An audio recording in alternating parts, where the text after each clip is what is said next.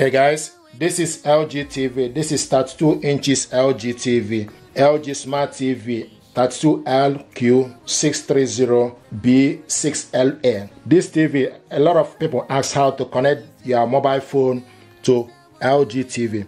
What you need to do is first of all, you need to make sure your TV and your mobile device are connected to the same network. What you need to do is go to your mobile phone settings. So select your mobile phone settings, go to connected devices, select connected devices, then scroll down and select smart view.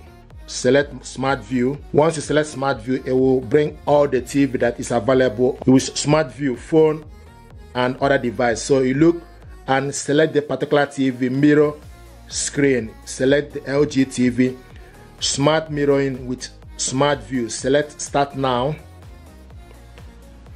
and it's connecting. Now I will ask you the question, do you want to accept this? This mobile phone is trying to access your TV, then you select accept. So use your remote to select accept. And it's connecting, you can see, so it's getting ready.